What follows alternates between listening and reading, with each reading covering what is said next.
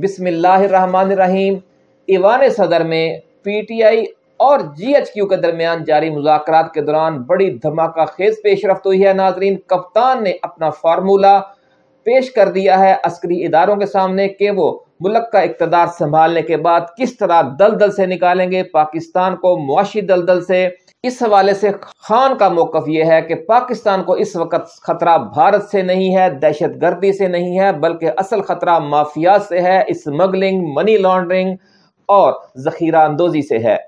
खान का मौकफ यह है कि मौजूदा हुकूमती ढांचा, मौजूदा अदलिया, मौजूदा सिस्टम, इन माफियाज को कुचलने के लिए पूरी ताकत नहीं रखते। इसलिए मुल्क की दिफा का अहद करने वाले इदारों का पहला फ़र्ज़ यह है कि इन मुआशी दहशत गर्दों के खिलाफ फौजी ऑपरेशन करें। इस हवाले से खान ने पहली शर्त यह आयद की है कि वो दो तिहाई अक्सरियत के साथ बरसरे इकतदार आने के बाद इस हवाले से न सिर्फ़ कानून साजी करेंगे बल्कि अपनी पहली तरजीह माफियाज के खिलाफ फौजी ऑपरेशन को बनाएँगे और आई एस आई को और दूसरे अस्करी इदारों को मुस्तकिल बुनियादों पर यह काम सौंपा जाएगा, ये ड्यूटी दी जाएगी कि वो मनी लॉन्ड्रिंग को, करप्शन को स्मगलिंग को और जखीरा अंदोजी को रोकें। नाजरीन, इस बड़ी तजवीज़ ने अस्करी इदारों में एक नई बहस शुरू कर दी है कि मुल्क को बहरान से अगर कोई शख्स निकाल सकता है तो वो सिर्फ़ इमरान खान है कि जिसने इस हद तक सख्ती के साथ माफियाज को कुचलने की तजवीज़ दी है।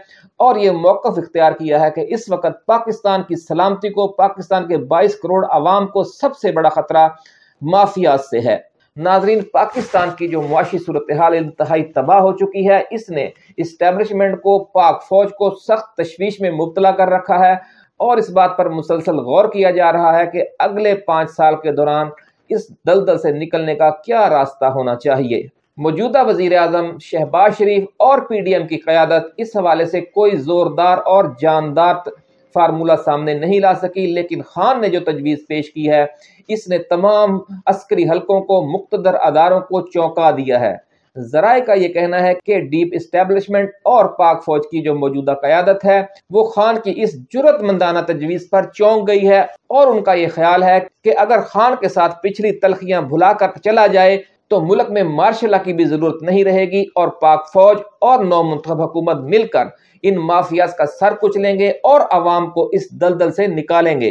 नाजरीन, ईवान सदर में सदर आरफ अलवी के ज़रिए जारी इन मुजाकर में chairman, joint chief of staff committee, general Sahir Shamshad Mirza और army chief general Asim Munir के साथ साथ दीगर आला अस्करी हुकाम भी ऑन बोर्ड हैं और इस दौरान सामने आने वाली इनकलाबी तजावीज पर हैरत का इजहार कर रहे हैं कि पाकिस्तान और इसके 22 करोड़ आवाम को इस बहरान से, इस दलदल से, इस महँगाई से, इस बेरोजगारी से बाहर निकालने के लिए एक सियासी और एक जमहूरी रहनुमा इतना जरूरतमंद इतना दलेर भी हो सकता है कि वो स्मगलिंग जखीरा अंदोजी, कब्जा ग्रुप सरगर्मियों के खिलाफ ऑपरेशन में आईएसआई को किरदार देना चाहता है, अस्करी इदारों को किरदार देना चाहता है और ये चाहता है कि पाक फौज उसी तरह जोरदार अंदाज में ऑपरेशन करे, जिस तरह दहशत गर्दों के खिलाफ सबक army chief general Raheel Sharif ने किया था।